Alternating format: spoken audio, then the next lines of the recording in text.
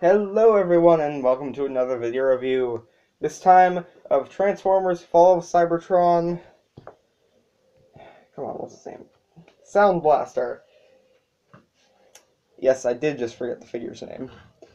As you can see, he is a Cybertron, I think he's called a communications truck. Doesn't really look like it. He, yes, his wheels are clear red, so is this little piece. Um, for accessories, he comes with this gun, which we'll talk about more later, but regardless. Uh, he does have a gimmick, but I'm going to show it in robot mode. Uh, to transform him, fold out the back of the car and flip down these pieces.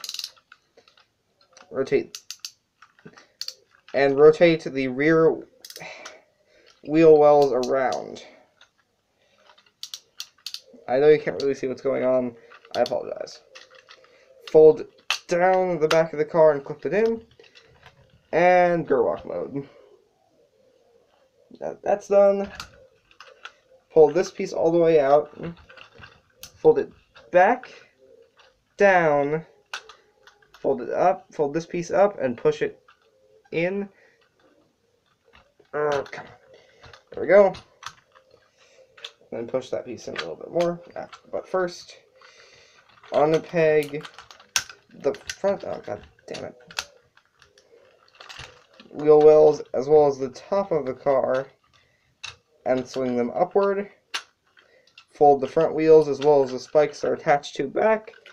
And yes, I know you can't see this very well. I apologize. There's no good way for me to get this on camera. Push this piece as far forward as you can. Close that. Fold the arms down. Close the panels behind them. Fold the arms down further flip out the fists and rotate them.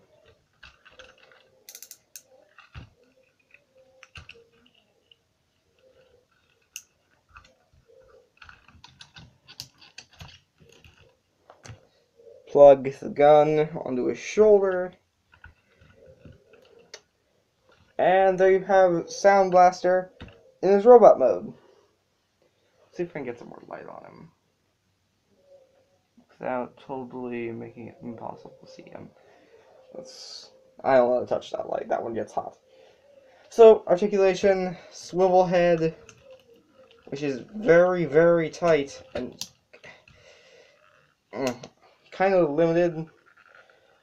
Ah, man. Sorry you couldn't see that, but it is. Um, universal shoulders. Sorry, sorry about that. Hinge at the arm swivel beneath that. Really good elbow bend, wrist swivel and hinge. Uh, universal hinge, hips, swivel, swivel above the knee, 90 degree knee, and forward and backward ankle.